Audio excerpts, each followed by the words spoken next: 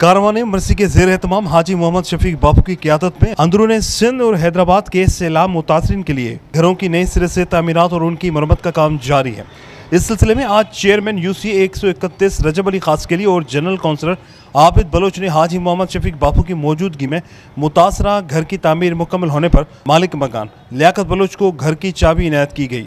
ताकि वो बकाया ज़िंदगी आराम व सुकून से गुजार सकें। इस मौके पर हाजी मोहम्मद शफीक बापू ने कहा कि हमने इस इलाके में न सिर्फ़ मुतासर घरों की तामीर की है, बल्कि पूरे अंदरून सिंध तकरीबन एक हज़ार खेमे, सौ से जायद साफ़ पीने की पानी की हैंडपम्प और एक हज़ार से ज़्यादा ख़ानदानों में राशन तकसीम किया है। और इन माह रमज़ान के मुबारक मौके पर भी गरीब ख़ानदानों में राशन की सप्लाई का सिलसिला जारी रखेंगे। मैंने शैतवान रजीम रहीम। मेरा नाम मोहम्मद शफीक बाबू है। एक कमेटी बनाई है जिसमें इस इलाके के चेयरमैन, काउंसलर सबको शामिल किया है, जिन्होंने नॉमिनेट किए हैं पाँच घर, जो कि बिल्कुल गरीब हैं, जिनकी छतें नहीं हैं, दीवारें गिर चुकी थी, शदीद बारिश और सैलाब की वजह से।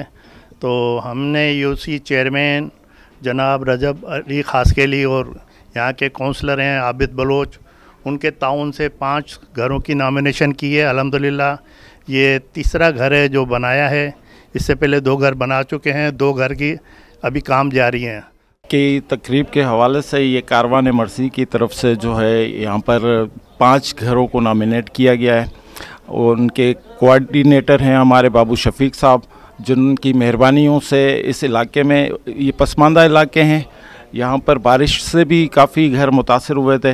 हम शुक्रगुजार हैं कारवान मरसी के और बाबू शफीक के, जिन्होंने यहाँ पर गरीब तबके में तकरीबन जिन किसी की छत गिर गई है, किसी का जो घर नीचे है, किसी की दीवारें गिर गई है तो यहाँ पर इन्होंने फ़र्श भी ऊपर करवा के इनको जो है पलस्तर करवाया, अंदर रूम बनवाया, ऊपर छत बनवाई है।